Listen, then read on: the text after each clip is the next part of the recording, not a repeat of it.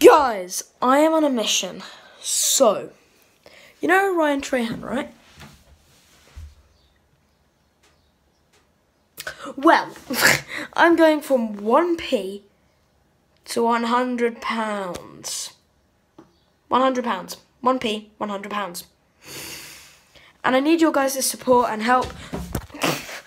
I will be making updates and daily shorts on what I get at the end of the day.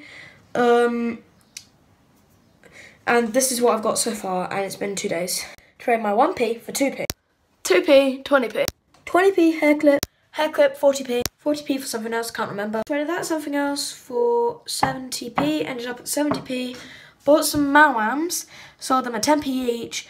I got £1.55p from that. At the end of the day, I'm left with a really cool pen, hand sanitizer, highlighter, and money. See you tomorrow.